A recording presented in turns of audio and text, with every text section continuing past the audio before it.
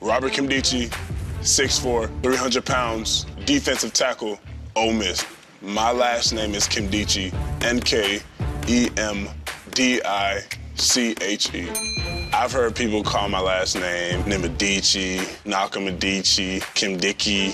When I'm a star in the league, people are gonna know how to pronounce my name. You know who was there, Robert Nkemdiche. Entering this world of NFL is just like a whole new dimension.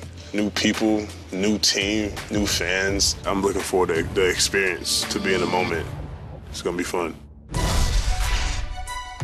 Robert Nkemdiche is one of the most talented players in this draft. If you were in a vacuum and only watched his Alabama tape, you'd be talking about him potentially as the number one pick overall in this draft. In trouble, tattoo. There's Robert Nkemdiche. But he's got two problems. One, that was by far his best game. And number two, he's had significant off the field problems. From a purely talent level, he's a top 10 pick. I don't know where he's going to get drafted. He could go in the middle of the first round. He could go late first round. All I know is this if this kid takes care of business, he's got Pro Bowl potential as a 4 3 defensive tackle.